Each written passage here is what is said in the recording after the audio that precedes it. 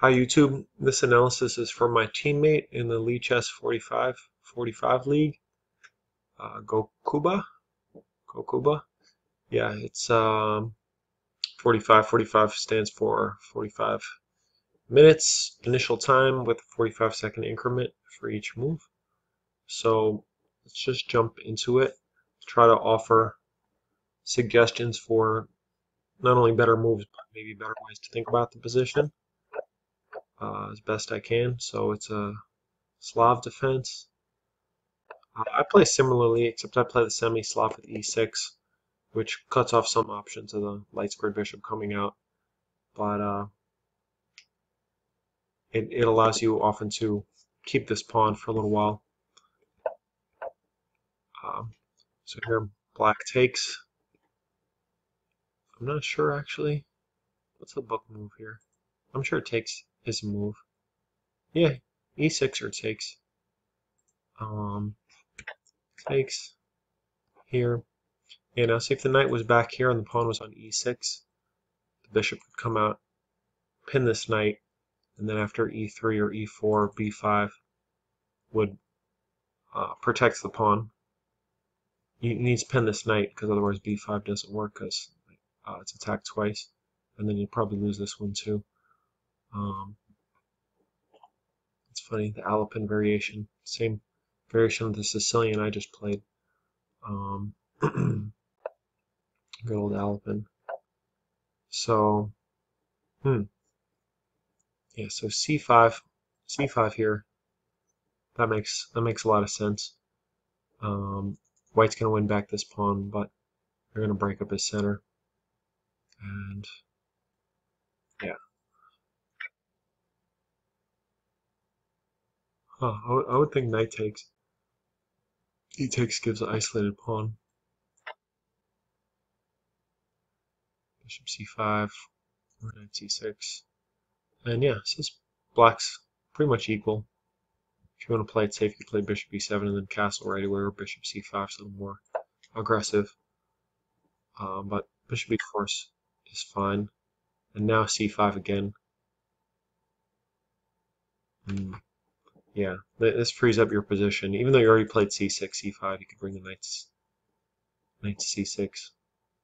Um, and yeah, these two pawns here are not as good as these pawns here, so c5 can break up that structure for white. Uh, instead, you go after the pin right away, but this shouldn't work because white can defend it. Um, Oops, sorry about that, spoiler alert.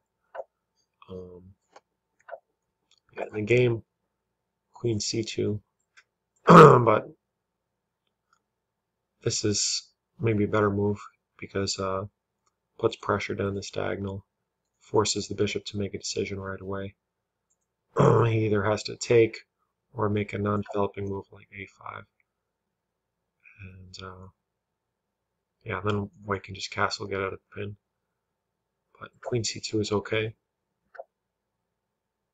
Mm. I, I have to say I like I like your aggressive style, uh, Go Kuba. Like, you know, just offering white a chance to go wrong by taking this knight, and then you're uh, getting the rook in the corner. I'd just castle, make a gambit of it. Let's look at that real quick.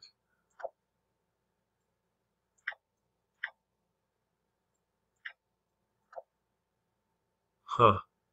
Yeah, this, this bishop is kind of a little bit hung out to dry out here.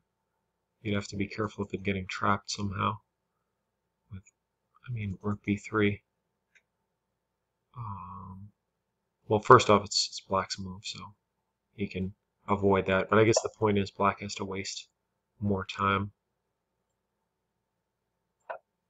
Prevents black from castling if he doesn't want to lose this pawn. Okay, that makes a lot of sense. But bishop d2 is very natural. And knight takes, knight takes.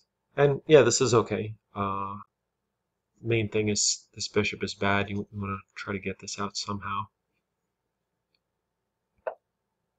Um, yeah, This queen move, I don't quite understand.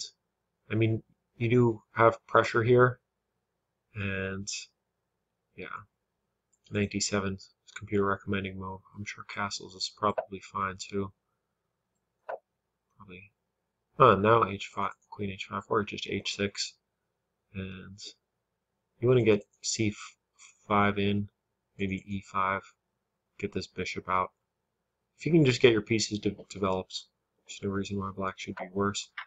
Um, but yeah, okay, so this is the first move I would really criticize, I guess, except for um, 95. Although the way the way white played, it, it worked out okay for you.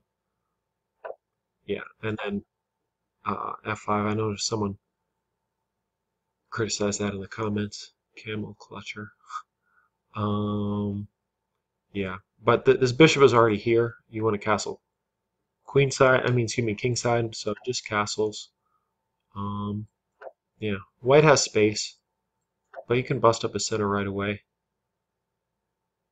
And I didn't recommend d5, but if d5 takes, okay, if pawn takes, you can get your bishop out with tempo. So knight takes, okay, hitting your bishop, and uh, f5. But at least you're getting a bishop out now, maybe here or here. So, yeah. And if white doesn't play d5, I can take. Huh. Queen c5 is good. I, wouldn't, I don't think I would play queen c5. Is this much worse? Yeah, about the same. And yeah, maybe you're playing bishop here and here, knight here. It's a little awkward, but you will probably get all your pieces out. I'm surprised the engine said it's almost equal. I would still think this is a little better for white because because these pieces are still at home. But uh, okay, yeah, but f5 is is f5. Maybe you could say that f5 is a losing move. So white can go queen b3 right away. Uh, he did that next move, and that just double attacks here and the and the bishop.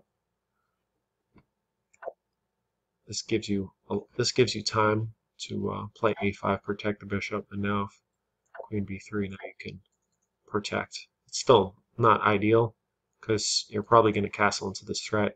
Developing the knight will block the protection here, so it's not ideal, but um, yeah, you, you kind of what it what it um you, you just castled right now, but now you're definitely losing this Um, because you have to play a5 anyway now. I guess you don't have to play a5, but yeah, a5 is the best move. I guess you could move the bishop. Okay, a5. So okay, lost a pawn, but uh, it's not the end of the world. And hey, looking at the positive, you got rid of your bad bishop. I mean, at the cost of a pawn. But uh, okay, drops back to attack the bishop. Again, I have to say positive things. I mean, I want to say positive things. I like your counterattacking style rather than worry about this bishop right now. You're hitting the queen, getting a tempo. He moves. Now you drop the bishop back. Get the knight out. And, uh, hmm. Yeah, engine doesn't like rook c1. Seems like a very natural move. I guess the point is queen b3 is a little awkward to protect this pawn. Still don't see what's so great about this move. Mm. Okay, anyway, my aim's to help white. I mean, excuse me, to help black. Um, let's just, since the engine gives a line. Hmm. Okay. Right here to here. Eh. Yeah, the white doesn't, knight c1 doesn't seem that, that great, but okay. Maybe that's why it doesn't like rook c1, because that's the way it wants to reroute the knight. Although I don't see why knight c1 to d3 is particularly better than here. I guess I guess on the square it doesn't have options. And it would also block that. Okay, that's pretty subtle. Knight f6, h3. Yeah, again, h3 is not liked by the engine. And now, yeah, now f f4. Yeah, this makes sense. Now, okay, you, you play this weakening move f5, but now that the smoke is cleared and you've avoided the worst with your king safe in the corner, might as well use this pawn to attack. Uh, he can't push past because e4 is nicely protected. And if he takes, all of a sudden, yeah, he might have kingside issues. And that could highlight this rook over here. Then he would have isolated pawn. Huh. Engine says don't even take right away. I would almost certainly take right away. Ah, I, I guess this is cute. The idea is g3 to protect the pawn is impossible because the knight hangs. I mean, this is a cute kind of move to make it. It's kind of annoying to your opponent because it just shows patience and uh, better ruthlessness. And yeah, and knight taking instead of bishop does have threats. If you take with a knight, then you have threats. Maybe take here with check, then take here. And then all of a sudden, white's king's very naked. So, okay, that's... So,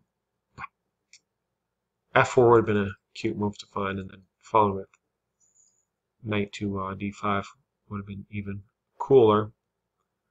But here, yeah, here you, you start to go a little astray again. Rook e4. So, okay, this pawn is pinned, but where's the rook going from here? These squares are all covered. I guess I guess probably want to double. And this seems like the most aggressive square to double. Or maybe you want to support f4, but you could have already played f4. So, hmm. But the main problem is now this kind of awkward knight gets back in the game. Okay. Queen f7, pinning the pawn is the computer's choice.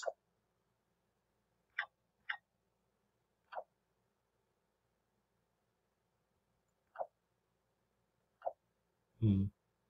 Yeah, I'm, I'm, I'm trying to, struggling to suggest a move here. Now, now f f4 isn't optimal because you can trade queens, and you don't really want to trade queens when you're, uh, let's see, we're, we're what, two, oh, we're still only a pawn down. Hmm, but yeah, you still don't want to trade queens. Engine saying queen e8. Hmm. Okay, I'm not going to criticize this move. Knight to d5. This is logical. Um, yeah, logical. Black wants to. Uh, excuse me, white wants to trade pieces. Now it's saying that this move is much worse than taking the knight. Why is that? I'm going to try to figure it out without looking at the eval. So if knight takes,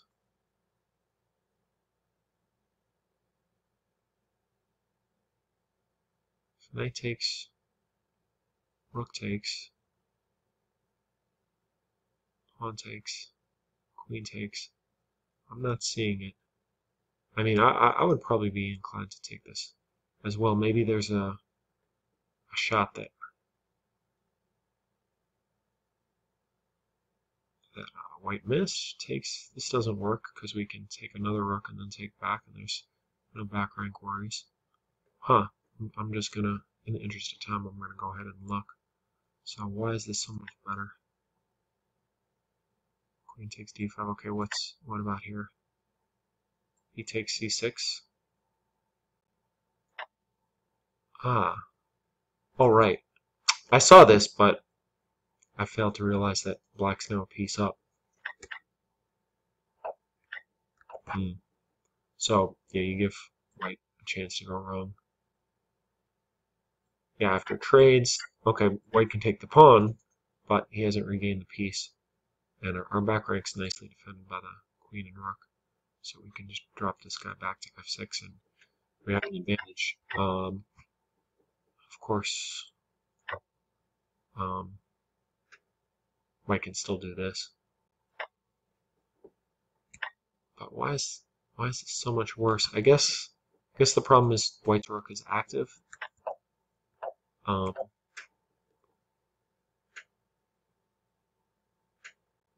after takes, queen takes. Hmm, uh, I'm actually not seeing that much of a difference. Queen takes, rook takes is impossible.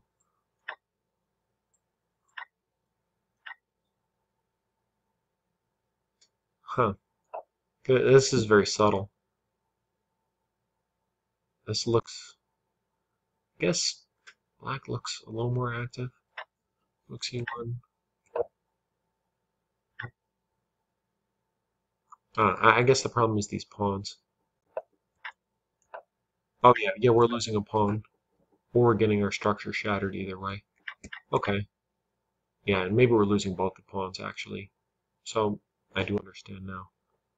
Um, yeah, yeah, these two pawns on the queen side versus, um, oh, this is a computer line I didn't look at.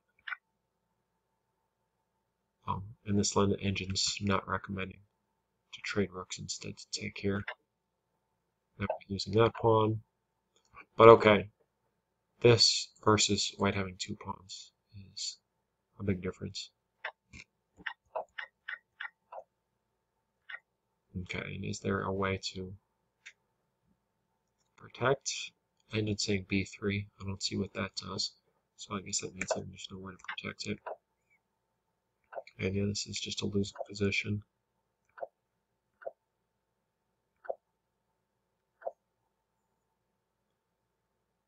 Okay, but here at least we're winning the exchange, but this is still lost. But it's it's it's interesting now uh, you know, with two humans, anything's possible here. Um, yeah, trading queens. Probably better to keep the queens on with h h6. Um,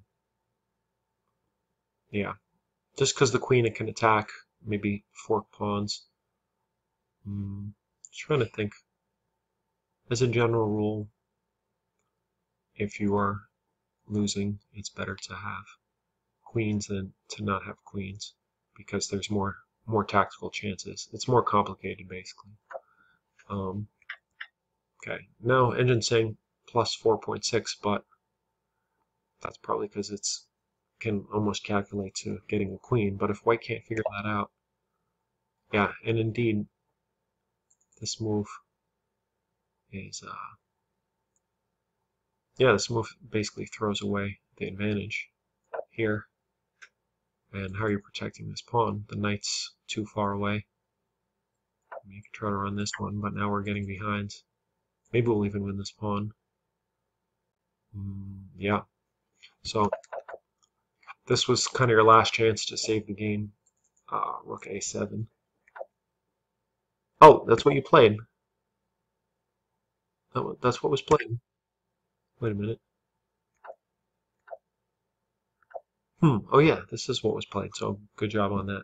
Sorry, I'm spacing out here. Okay, um, yeah, and now you start to go straight moving the rook. Remember, you definitely want the rook behind the passed pawn. Um, this would be especially nice. Well, okay, first let's protect this.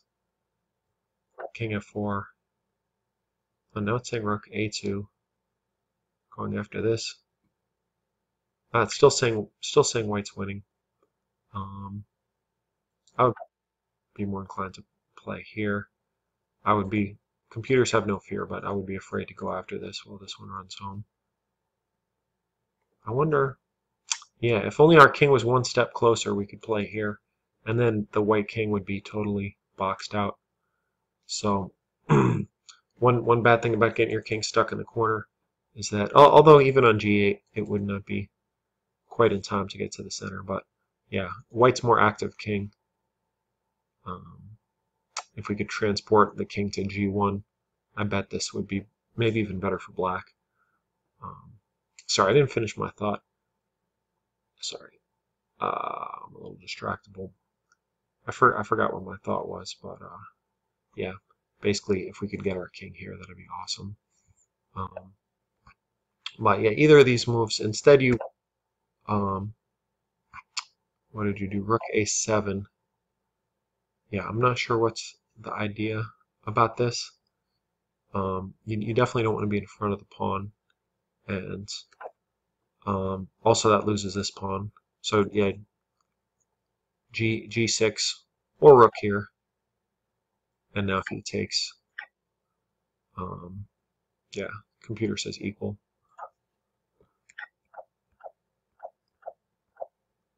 Yeah, and then another rook move. You, you you gotta you gotta get your king in. You did get your king in, but by the by that time it was too late. Um, I can see the idea here. You want to cut off the you want to cut off the king from coming over here. So, um, so I, I shouldn't criticize this too much. Actually, it's it's it's very natural. Uh, oh, now the computer's saying it's the best move. Huh, so what do I know? What are you paying me for? Uh, huh. Rook f7. Rook f7. Are we are we gonna take this? Huh. Yeah. No fear. Well, maybe the computer should have fear because he's losing either way. Um. Yeah. yeah. It's tricky. Okay. Rook e7. This this is obviously not good. The king's going in the wrong direction. e4 was recommended. I guess and then maybe the king's going to sneak around the back this way after playing f3, maybe protect e4. Okay. King starts slithering over.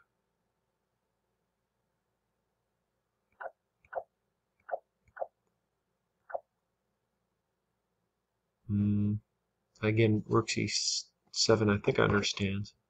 But the king can just come around this way. Better to bring the king in right away. yeah, and here is not really helping it. Too many rook moves, really. Um, but I mean, king d7 is also still losing. e4, the other, the other pawn's coming. Yeah, again, it's hard to suggest a move. This is, yeah, and then lost the exchange. So, main pivotal points in the game. I would say I don't know this position, but now I know, so that's a good thing about analyzing other people's games, is that uh, learn something c c5. And if he takes, you can actually force him to move the king, because this is pinned. So that's cool. um, yeah, this was a little bit... Um, yeah, moving the same piece twice. White's getting a nice development. Black's not getting his pieces developed and um, this isn't even necessary, necessary white can even castle. But okay, that was one uh, pivotal position. And then f5 was a big mistake here. Moving the queen was also a mistake, but f5 was a bigger mistake. Just uh, putting too much pressure here. And yeah, it's it's just not fun to even even if you can turn the game back around and draw or win in the end game. It's just not fun, especially in a long game to have to defend a position like this. Where you're just you're just worse and you're you're suffering. It's it's not fun. So um so that was the second I would say pivotal point in the game. And then yeah, none of the rest of it really mattered too much. I went I went on and on about this this tactic that I'm I'm not sure how I would have played it in the game, but it, it's good to see the computer moves, even if you go over them quickly and you don't fully understand. Well, you should try to fully understand. Um, let's see. And then in the game, the very end of the game, yeah, here yeah, white did not take this pawn, and then g6. I'm just going to make quick moves. I'm sure the computer will beat me. Okay, yeah, already king f7. Why is king f7 so much worse than rook b4?